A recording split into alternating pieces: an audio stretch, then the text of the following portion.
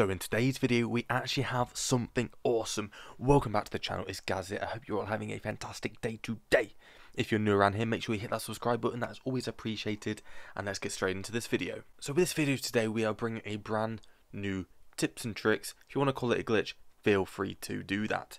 So this one is actually how to get yourself unlimited of the recon flags. And it's actually very simple to do. All you need to do is drop down onto the train that goes around all of Verdansk and just pick up that recon. There's one recon on that train. Pick it up and that flag will also spawn on the train. But what you need to watch out for is if you wait about 20 more seconds, another flag will appear on the train. And guess what? As soon as you pick up that flag, the actual flag station where you have to have to do the challenge will also be on the train.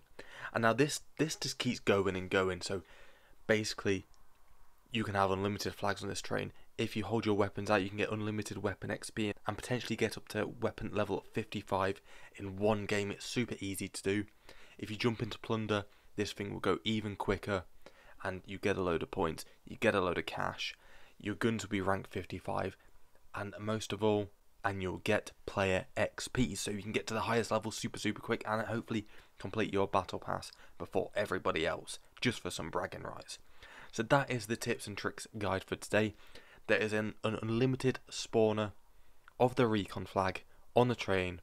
This will get patched, so if you want to go up some weapon levels, be sure to abuse this right now because this won't be sticking around for very long as soon as Raven Software catches on because they are very very quick with patching things so I hope you guys have enjoyed this video. If you want to see more tips and tricks and guides and glitches and stuff just like this one, make sure to hit that like button.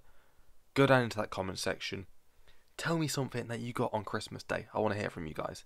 And I hope to see you guys in the next video. Thanks for watching. Gaz, and I'm out. Peace.